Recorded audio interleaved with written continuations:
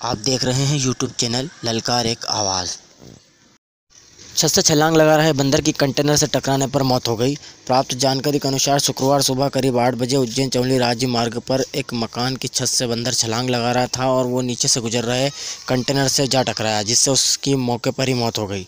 सूचना मिलने पर पूर्व सरपंच ठाकुर प्रेम सिंह सोनकरा और बजरंग दल अध्यक्ष सत्यनारायण अपनी टीम के साथ मौके पर पहुँचे और बंदर का अंतिम संस्कार विधि विधान के साथ किया गया।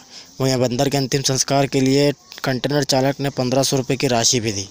सत्यनारायण और उनकी टीम ने बताया कि बंदर का तेरवा कर गो वंशों को भोजन कराया जाएगा।